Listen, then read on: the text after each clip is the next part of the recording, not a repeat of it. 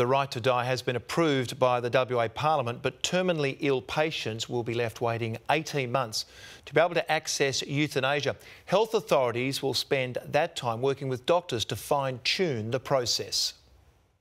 Drew Bathgate would like to say something. I have been diagnosed with motor neuron disease and I will die from it as it slowly shuts down my body, one function at a time until it shuts down my breathing. Struggling to speak, computer software does his talking. Battling to walk, a wheelchair keeps him mobile.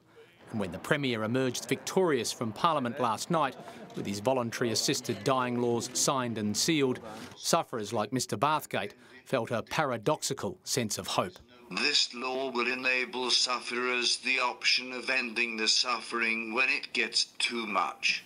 It's the ultimate act of compassion and kindness to our fellow citizens, and I'm very proud and thankful for all the people who made this happen. Doctors had labelled the legislation dangerous before negotiating extra safeguards. We think that it's certainly safer than when the bill was originally introduced, but we want to work uh, productively with the government on the next steps. And those next steps will take 18 months before any terminally ill adult can apply to die under these laws. An expert panel will be established to develop clinical guidelines, medication protocols, and training for those doctors willing to take part.